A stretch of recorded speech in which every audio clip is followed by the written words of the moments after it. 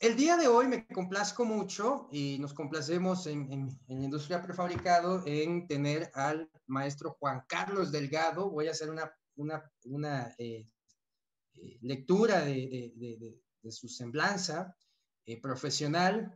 El maestro que nos va a presentar hoy la plática del día de hoy es ingeniero civil en estructuras, egresado de la FESA Catlán de la UNAM en 1987, posee una maestría en ingeniería financiera por la VM en 2008, también una maestría en administración de la energía y sus fuentes renovables por el TEC de Monterrey en 2012.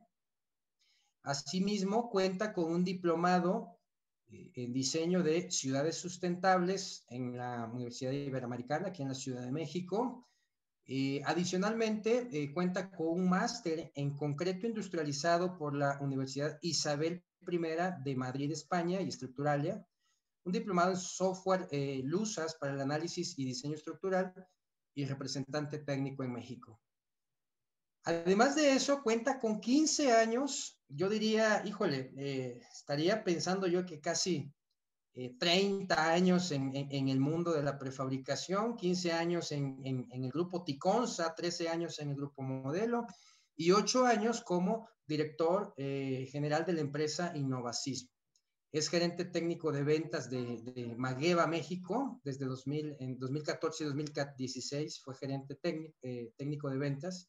Actualmente es vicepresidente de la NIPAC a cargo del Comité de Sustentabilidad y Desarrollo Operativo director de innovación y desarrollo en, la empresa Prefamóvil e Infraestructura de CADCB y se desempeña asimismo como consultor en ingeniería estructural y protección sísmica a empresas de prefabricación y preesfuerzo, eh, presente desde hace 22 años en congresos mundiales de ingeniería sísmica en diferentes partes del, del mundo, como Oakland, Vancouver, Beijing, Lisboa, Sendai y Tokio, por mencionar algunos. Entonces, eh, eh, muchísimas gracias, mi estimado Juan Carlos, por acompañarnos en este día. Eh, nos, sentimos muy complacidos y bueno, te cedo la, palabra y también este, la pantalla, ¿no? Adelante. Muchas gracias. Permíteme compartir. Ahí está viendo ya en pantalla, ¿verdad? Ya. Perfecto. Ok, el tema que eh, me va a tocar a mí exponer, al cual amablemente me acaba de presentar el maestro Daniel Manzanares, vamos a tocar precisamente el tema de, de, lo que es la construcción de concreto industrializado, que es el enfoque moderno de lo que es la prefabricación de elementos de concreto preesforzado. ¿no? Esta innovación en ingeniería estructural va a ser clave ahora para el desarrollo sustentable futuro inmediato y de escenarios post-COVID-19, como lo vamos a exponer. ¿no? En la temática que les voy a mostrar, ¿qué queremos lograr? Pues establecer la necesidad de resolver el atraso de la industria de la construcción, como van a verlo ahorita, hablar sobre las ventajas de la industrialización de la construcción en el proceso de desarrollo, conocer el impacto de la nueva realidad COVID-19 que estamos viviendo, establecer el papel del concreto industrializado en este nuevo escenario y finalmente conocer el papel de la prefabricación de la industria 4.0 en la construcción.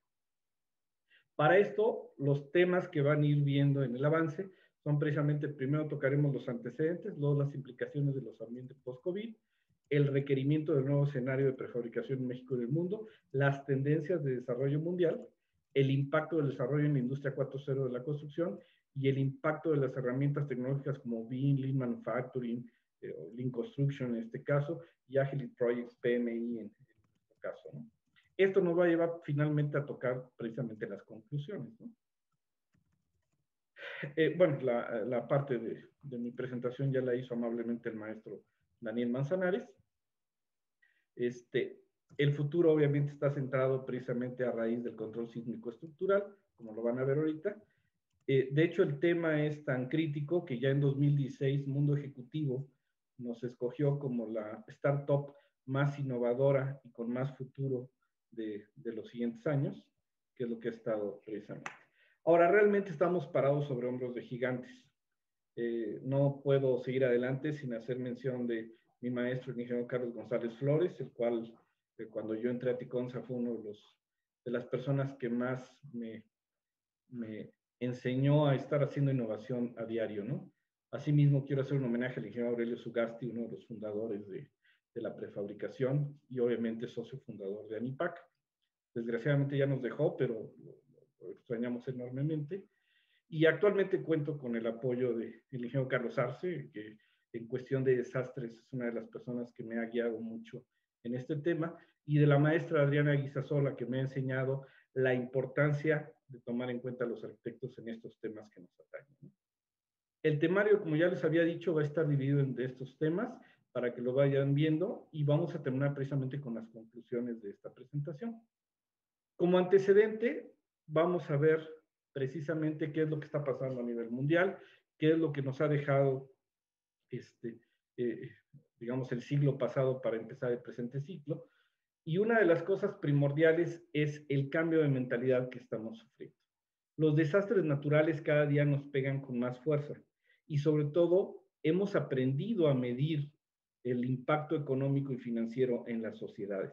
Eso ha hecho que apareciera como que cada desastre natural que sucede cada año tiene un mayor impacto en nuestra sociedad.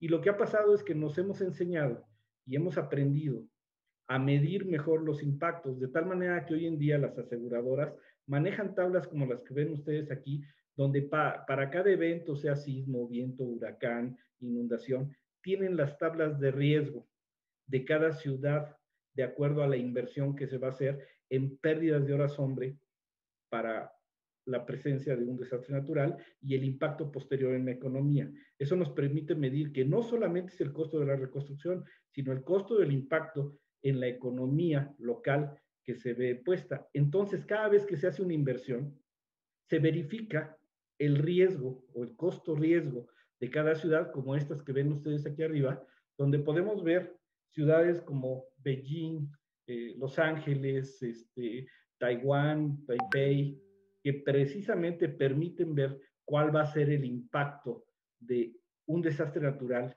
y eso nos da una probabilidad de riesgo y por lo tanto nos da una tasa de interés. Eso es lo que ocupan ellos a final de cuentas para evaluar los proyectos que se van a hacer. De esta manera, la exigencia de la sociedad cada día se vuelve eh, hacia un requerimiento que no ha estado presente en los reglamentos actuales de diseño. Y es que precisamente ahora ya nos piden tres niveles de, digamos, de desempeño, de performance de una estructura. Ya la protección de vida no es el único elemento que tenemos que buscar, que sería el nivel 3, es evitar el colapso. Pero hay niveles, dependiendo del tipo de inversión, donde ya tenemos que limitar también el, el, el daño en elementos no estructurales. ¿Para qué? Para permitir la ocupación a mediano plazo. Es decir, que la gente salga, se verifica la estructura, se le dan dos, tres días para el chequeo y se tiene que regresar a trabajar en esa instalación con un mínimo de impacto o incluso resistir sin daños, que sería un nivel de requerimiento 1 en el cual se llama ocupación inmediata. Esta necesidad de hoy en día de la sociedad hacia los elementos para evitar un impacto nos ha llevado a que cada día se esté estudiando mejor la cuestión de la protección de vida, el mayor confort, la protección estructural, la continuidad operativa, la protección de contenidos, y es ahí donde han entrado elementos o dispositivos de disipación y aislamiento sísmico que permiten la disipación de la energía sísmica sin tener daño no solamente en los elementos estructurales, sino también en los elementos no estructurales que permitan la ocupación inmediata. Esto se ha dado precisamente porque, por igual, en el siglo pasado, tuvimos impactos de terremotos muy fuertes, como en el caso de Nueva Zelanda, el terremoto ocurrido en 2016 en Kaikokura. Este, este terremoto pegó el 14 de noviembre de 2016 a las 2 de la mañana y ocasionó realmente un desastre, como pueden ver, eh, en, en, la ciudad. Fue terrible la forma en que dañó este, el centro de la ciudad y por eso muchos lo catalogaron no de un desastre, sino de una catástrofe. Esto llevó a que en el 2000 yo tuviera la oportunidad de conocer al doctor William Robinson en Nueva Zelanda, donde él desarrolló precisamente, por ejemplo, uno de los dispositivos que se ocupan actualmente, que son los aisladores sísmicos. Él originalmente era ingeniero mecánico. Cuando ustedes lo ven en la foto, él estaba estudiando en la década de los 60, pues se ve claramente el pelo largo y todo. Este, y estaba estudiando cómo frenar el impacto en los automóviles, mucho del desarrollo de, actualmente de los carros para absorber el impacto es lo que conocemos hoy, que él desarrolló mucho a base de neopreno. Uno de sus alumnos, que era ingeniero estructural, en algún momento le dijo, oye, profesor, pues aquí si tenemos éxito, salvamos cuatro vidas, pero si esto lo aplicamos al impacto de los terremotos en un edificio, porque absorbía la energía y la disipaba como calor, dice, pues vamos a salvar cientos de vidas. El doctor lo que hizo en ese momento fue agarrar su estudio, su investigación, dejársela a uno de sus alumnos e irse a la facultad de ingeniería de la Universidad de Oakland con ese alumno que le había dicho que con los años se convertiría en su socio y empezó a estudiar cómo eh, aplicar estos aisladores de neopreno con centro de plomo a las estructuras. De ahí salió una de las primeras. Yo tuve la, la fortuna de platicar con él y entender muchas de las cosas que, que, que, lo habían motivado a hacer este cambio. Eso me llevó obviamente a, través de mis visitas, sobre todo a Japón, a conocer eh, todo lo que hay de aislamiento sísmico. En, originalmente estos sistemas que vamos a ver y lo que vamos a platicar se aplica a cualquier tipo de estructura, pero eh, tiene un impacto económico mucho más saludable en las estructuras prefabricadas, como vamos a ver hoy. Esta es precisamente alguna de las aplicaciones que se hacen, por ejemplo, en Japón de estos dispositivos. Algunos son de sacrificio, otros no son de sacrificio, lo cual revisaremos con calma.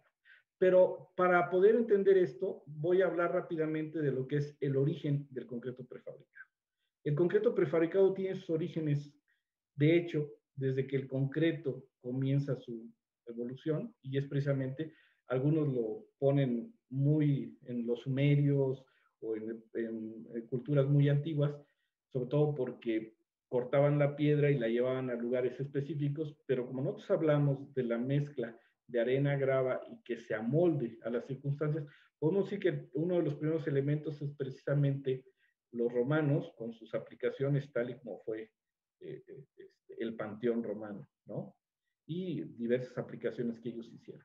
Realmente el concreto, como lo conocemos hoy en día, despega con las primeras patentes que eh, empiezan realmente en el siglo XVIII, donde empiezan precisamente a hacerse los estudios y empiezan las aplicaciones. Y el concreto, su aplicación comienza fuertemente a partir del sistema Monier, que él empieza a prefabricar concreto, porque lo que hacía eran unos, unos macetones eh, con concreto y con malla de acero para que resistiera.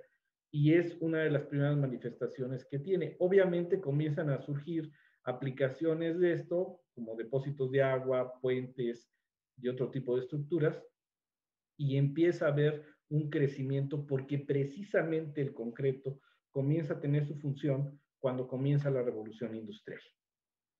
Entonces esto permite que Francia, Inglaterra, Alemania, la propia España, comienzan a tener sus propios sistemas, puesto que patentaban esto, eh, estos sistemas de construcción y que les permitían hacer obras muy rápido, que permitían también usar lo que en ellos eh, tenían de la parte de arquitectura y llevarlo a las exposiciones internacionales donde se daba, en este caso, la innovación y permitía, como pueden ustedes ver, las oficinas centrales de NEMBIC en París, donde todo el arreglo arquitectónico era precisamente con concreto de alguna manera prefabricado. Hay otros elementos que muchos eran colados en sitio, pero ya el concepto de prefabricación nacía prácticamente con el elemento, ¿no?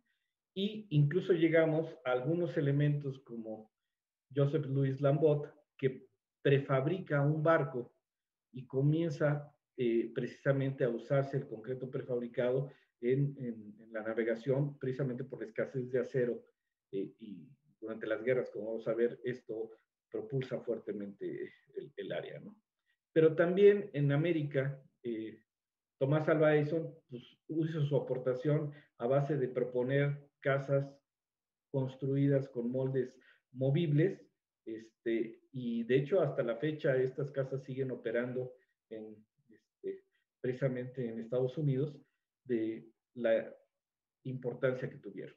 Pero viene un hombre en ese momento que cambia las cosas, Marie-Eugène Freycinet. Freycinet lo que propone es la optimización del concreto a base del preesfuerzo. Él es el que diseña y patenta los primeros sistemas preesforzados y curiosamente coincide con el momento histórico de la posguerra de la Segunda Guerra Mundial, donde los materiales comienzan a escasear y entonces la optimización que la prefabricación hace de los materiales permite que eh, explote en el mundo el uso intenso de estos sistemas prefabricados para optimizar, los materiales que en ese momento estaban escaseando, el acero principalmente, eh, los concretos y la necesidad de reconstruir rápidamente la Europa que había sido arrasada por la Segunda Guerra Mundial. Eh, establece entonces los primeros sistemas prefabricados con preesfuerzo, ya sea pretensado o postensado, y eso permite que se desarrolle como lo conocemos hoy. Y siempre hemos creído que esto lleva a sistemas grises, repetitivos, que no tienen arquitectura diseñada, y viene en 1965 precisamente eh, el diseño de, de este centro eh, cívico y de habitacional en, en Canadá, en, eh, en, Montreal, que precisamente establece un récord y se lleva un premio mundial por el diseño que permite una arquitectura realmente diferente y una, tiene un premio principalmente por la privacidad. Ustedes se pueden parar en cualquier ventana de un departamento y no ven al vecino. Entonces ellos valoran tanto esa privacidad que este se lleva un premio, este edificio lleva un premio. Hasta la fecha es un punto de visita en Montreal y eh, obviamente hay muchos cambios. Pero vamos a hablar precisamente de cómo se va integrando esto con todos los cambios que estamos viviendo. La industria 4.0 es precisamente los cambios que ha habido a partir de la revolución industrial. Y la industria 1.0 es el impacto de la energía hidráulica y la máquina de vapor. Podemos hablar de una fecha de 1784, cuando comienza la revolución industrial. Y luego viene el impacto de la energía eléctrica y todo lo que aportaron Tesla, este, Tomás Alva Edison. Y podemos hablar entonces de la industria 2.0 que es la industria eléctrica impulsada por la producción en masa y las líneas de montaje. Aquí impacta por todo lo que conocemos del desarrollo de, de las industrias, el Fordismo, que algunos llaman, este, que es precisamente las líneas de montaje. Y luego viene la tercera revolución, vamos a llamarle, que es la industria 3.0, que es la automatización de computadoras y la electrónica, que sucede alrededor de 1969 y cambia completamente a empezar a automatizar esas líneas de producción que estaban. Dentro de este parámetro, la industria 4.0, que es la revolución que actualmente estamos viviendo, habla de la informatización y la fabricación y transformación digital, todos los temas numéricos de control numérico para fabricación y diseño de estos, este, de, la industria y de los commodities que usamos, que eso es lo que estamos viviendo hoy. Dentro de esta temática, obviamente, eh, el impacto de la pandemia COVID vino a acelerar muchos de los cambios que ya venían en camino. Estos cambios comenzaron y obviamente el control de la pandemia comenzó a acelerar muchos cambios, como vamos a ver ahorita. En la construcción, pues sí hay una cuestión importante. Ha habido varios elementos, aparte de lo que es Industria 4.0, que están empezando a cambiar. Y muestra de ello es, por ejemplo, este edificio que diseñó el arquitecto Lord Norman Foster. Es un edificio de HCBC que se construyó en este, es el Hong Kong and Shanghai Banking Corporation. Y obviamente tenía que construirse en Hong Kong, pero en ese momento la situación política de Hong Kong no sabían cómo iba a quedar.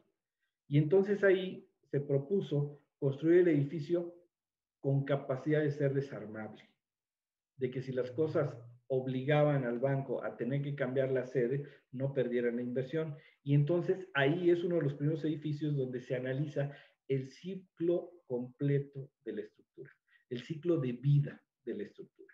Es decir, nace la concepción, se detalla, se analiza, se documenta, se fabrica, se construye, se hace la construcción, se opera y se da el mantenimiento, pero luego se analiza la posibilidad de, demolición o la posibilidad de renovación, o como en este caso, la posibilidad incluso de cambiar la estructura de sede. Este es uno de los cambios muy importantes que sucede con este tipo de estructura. El siguiente cambio, obviamente, es lo que en la maestría tuvimos oportunidad de conocer, nuestro director del máster fue el ingeniero Alejandro López Vidal, que él a su vez es el director o el gerente de, de lo que es Andes en España. Y él comienza a hablarnos precisamente del concreto industrializado, que es una corriente que ahorita está dando en Europa respecto a industrializar la prefabricación. De por sí, en el modelo tradicional, comparado con el modelo industrializado, que es la prefabricación, ya hay muchas ventajas.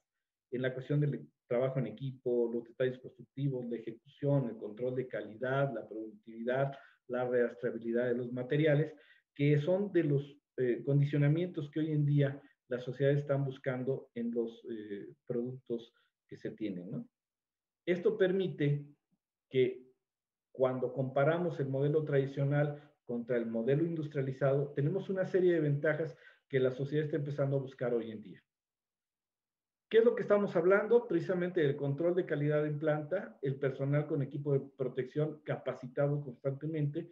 ¿Por qué? Porque lo tienes dentro de la fábrica de prefabricados, entonces puedes estarlo capacitando y puedes tener una rastreabilidad sobre la gente y lo que has preparado. El personal con equipo de protección, la reducción de personal en montaje en sitio, eso permite el control de la, este, de la pandemia. ¿Por qué? Porque cuando llegas al lugar es mínimo el impacto que tienes en la zona. Hay protocolos y procedimientos estandarizados auditados, hay un distanciamiento social por el uso de maquinaria, transportes y trabajadores en campamentos con control sanitario para lo que es el montaje en sitio, una transformación digital por BIM y realidad digital, como vamos a ver ahorita, una modularidad, una rapidez en la construcción y control de calidad, perdón, que tiene tiempo ajustado. Y la alineación y resiliencia de la reducción de riesgos financieros ante desastres con la utilización de los sistemas. El resultado es precisamente la industrialización de la construcción. Esta es la propuesta que vamos a estar revisando a lo largo de la presentación. Los orígenes del preesfuerzo obviamente se define estrictamente como un producto hecho de concreto y fabricado en lugar distinto al de su localización final de uso, protegido de las condiciones ambientales adversas durante la fabricación y que es el resultado de un proceso industrial bajo un sistema de control de producción en fábrica con la posibilidad de acortar plazos de entrega. Esta definición, que es la que se nos ha dado eh, en lo que es el, el concepto europeo donde se está desarrollando la prefabricación fuertemente, eh, está definido precisamente por el ingeniero Alejandro López Vidal y el ingeniero David Fernández Ordóñez, que él es el presidente del, de la Comisión 6 de prefabricación en lo que es la FIB, ¿no? Esto nos permite precisamente establecer que el proceso va a ser la fabricación, molde, ya sea el molde de acero, con el tensado y el colado, como vamos a ver, permite una extracción estiva donde se hace el control de calidad, el control geométrico y que el elemento cumpla con las características que fue requerido. Y una vez que cumplió, entonces se autoriza su transporte con un eh, traslado al lugar donde en el lugar de montaje va a ser colocado, se va a conectar y se va a eh, colar los firmes para hacer ya monolítica la estructura. Esto nos permite tener una trazabilidad de los elementos y tener un control de calidad de elemento por elemento para que cumplan realmente con las características. Obviamente los moldes permiten no estar eh, dañando tanto la madera, puesto que un molde de acero nos da muchos más usos de lo que puede darnos este, la madera en sí, y eso permite optimizar los recursos de los que disponemos. Incluso al estar en planta, podemos controlar y reducir el desperdicio para que éste sea mínimo. En estos procesos de fabricación, obviamente podemos controlar el proceso, el clima y hacerlo muy sustentable a partir de controlar las tres seres. Reusar, reutilizar y reducir. Eh, estos eh, recursos permiten ser optimizados y obviamente la calidad y lo que es el control de esta calidad es mucho mejor estar supervisando un elemento a nivel de digamos, de terreno, en planta baja, que tiene que estar revisando el elemento a 15 o 20 metros de altura con ese tipo de, de inseguridades, cuando aquí podemos verificar el acero, hacer el colado de manera adecuada y una vez que cumple con las características, entonces autorizar la salida de este elemento. Y tenemos también procedimientos con los cuales podemos controlar la colocación del concreto, la temperatura y evitar este, cualquier error en, su colocación. Eh, les voy a poner un video precisamente del proceso.